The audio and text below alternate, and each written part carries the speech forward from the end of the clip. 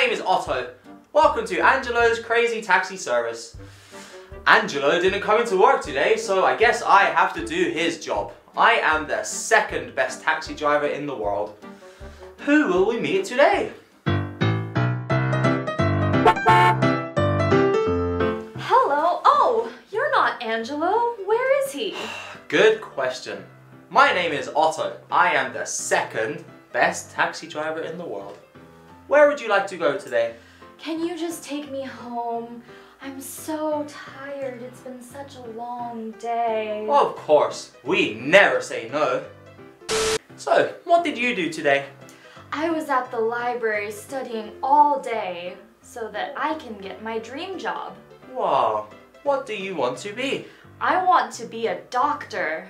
Wow. Why do you want to be a doctor? I want to be a doctor so that I can help sick people. Wow, that's very noble of you. A few moments later. Um, hmm. Where does a doctor work?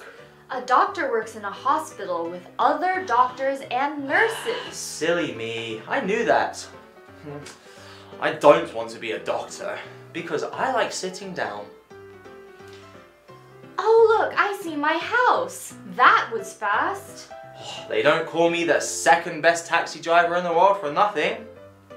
Thank you so much for driving me this evening. You're welcome, Dr. Customer. Goodbye. Goodbye.